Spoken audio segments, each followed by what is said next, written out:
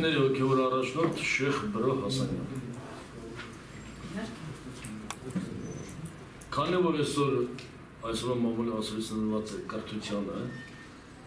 մենք կողմ ենք բոլոր տեսակի կրթությունը։ Եվ դպրոցական, եւ դպրոցից հետո բարձակույնում մենք կողմ ենք։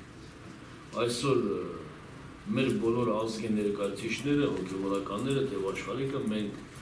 մեր ժողովրդին պրոպագանդում ենք, առաջարկում ենք երիտասարդներին յետ չպահել, այն երիտասարդները, որ շնորհք ունեն շարունակել ուսումը բարձրագույն ուսումնական հաստատություններում յետ չպահել։ Քանի որ նոր օրենքը կրթության վերաբերյալ դպրոցական տարեկի երեխաները 12-ամյա կրթությունը պարտադիր լինելու համար ուրեմն ինչ է նշանակում, եթե երեխան չունի ընդունակություն, հակում չունի սովորելու գիտությանը, իսկ թվում է ավելորդ է նրան ինից ավել տանել պարտադրել, որպեսի գնա դպրոց կա։ Նշանակում է ուրեմն նշանակում է մենք չենք հետևում երեխայի գիտության, գիտելիքի մակարդակին, այլ գլխականակ ապահովել դպրոցներում։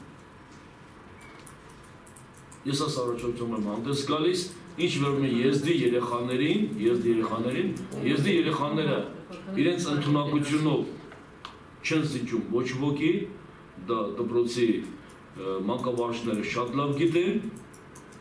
ընդունակությունները ավելի նորմալ են եւ այն երեխան եզդի երեխան ես որպես հոգեվորական ես առաջարկում եմ եւ քարոզում եմ, խնդրում եմ այն երեխան եթե ունի ընդունակություն, պարոն Թամոյանի օգնությամբ մենք պատրաստ ենք բարձրագույն ուսումնական հաստատությունում օգնել եւ հաստատել։ Հիմա կարող եք ասել, որ ձեր համ պարոն Թոմյան, մի հատ նստակեցնեք։ Դուք ասում եք հանդիպել ենք, քննարկել ենք եւ գտնում եք, որ ճիշտ է։ Ձեր համայնքի ներկայացուցիչները կարևոր մարդիկ ասում են, որ պարտադիրը սխալ է։ Այսինքն դուք ձեր մեջ չեք քննարկել հետո գնալ կրթության նախարարությունում համայնքի կոնկրետ տեսակետը ներկայացնեք։ Հիմա ձեր երկու գործընկերներն ասում են, որ ճիշտ է։ Քատերիչյանը ամեն մի մարդ է ունի իր մտածելակերպը, ունի իր տեսակետը, ունի իր տեսակետը, իր գաղափարախոսությունը։ Ես ինքս երեք ասեցի, որ մենք քննարկել ենք միասին կրթության պետի հետ, քննարկել ենք ու համաձայնության ենք եկել, է 12-յու դասարանը դա ճիշտ որոշում է։ Երեխան թող սովորի, երեխան թող զարգանա։ Բայց այդ երկու միշտ խնդիրները ընտանեկան ամուսյան հարցը լուծվի եւ սոցիալապես ծանր վիճակում գտնվող ընտանիքի երեխաների հարցերը լուծվեն։ Այս երկու հարցերը որ լուծեցին ամեն նոր բարգան։ Իսկ դուք գտնում եք որ պիտի պարտադիրը հանվի միջից։ Այո։ Ինչը նոր է ուժի մեջ։ Այո, պետք է այն երեխաները ասոր ընդունակությունը շարունակելու, թող գնա Իսկ այն երեխան եթե չունի ընտանեկություն, դու դուրս կա։ Գնա արի սովորի։ Եթե պետք է այդա նստի դասարանում այն երեխա, պետք է այդա նստի ուսուցչու աչքին նայի, թե ինքը Խամյան, գուցե պիտի ձեր համայնքի նստեիք այս հարցը քննարկեիք նոր գնայիք կառավարություն։ Գիտեք,